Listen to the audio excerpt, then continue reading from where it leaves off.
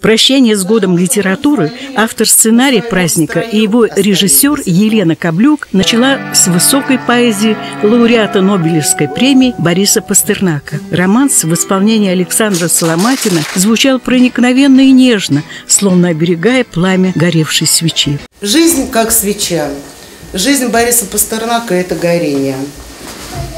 Как не может не гореть свеча, она же горит изнутри – и сжигает себя. В этом году поэту Борису Пастернаку исполнилось бы 125 лет. 55 лет – как его нет с нами. Руководитель театральной студии «Рампа», артист театра и кино Михаил Коротцев собрал со студийцами настоящий венок поэтических признаний. Стихи артисты читали с упоением, пропуская звенящие строчки через свою душу. А если неожиданно наступала пауза, эстафету принимала Елена Каблюк. Борис Пастернак был многогранным человеком, изучал историю, писал картины, сочинял музыку. Лауреат международных конкурсов, скрипачка Дарья Барского исполнила исполнила пьесу поэта. Для многих это было настоящим открытием. Год литературы, книга нашего земляка Михаила Савельева «По лезвию судьбы» была признана лучшей. Этот замечательный факт не остался без внимания. Библиотека со своими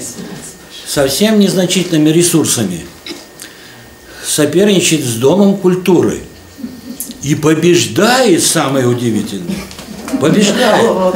Люди ходят в библиотеку, а не в Дом культуры. Удивительно. Это так здорово. 2015 год останется в нашей памяти главным событием 70-летием Великой Победы. Поклон солдату Победы Валентину Владимировичу Широкову, букет роз и песни в исполнении любимого ансамбля «Союз-М». Вдоль берега крутого мимо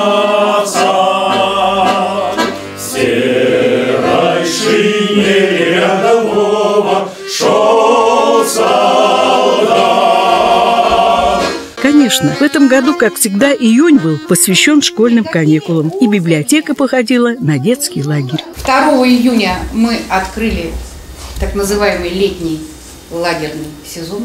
Это началась настоящая чунга-чанга для нас. Мы и плясали, и пели, и викторины проводили, и игры проводили на улице, клеили вопросики, искали ответики с ребятами. Коллектив четвертой библиотеки неизменно отличается своими инновационными открытиями. Ни одна встреча здесь не проходит без викторин.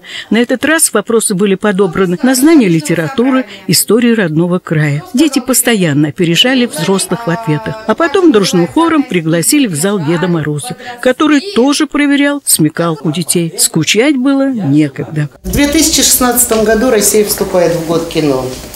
Но я хочу сказать, дорогие мои читатели, мы-то с вами знаем, что те, кто читает книги, всегда управляет теми, кто смотрит телевизор. Закончилось это эксклюзивное пиршество духа известной песней. И не только потому, что ее знают все, а в честь юбилея. 110 лет назад агроном Леонид Бекман написал музыку на стихи Раисы Кудашевой.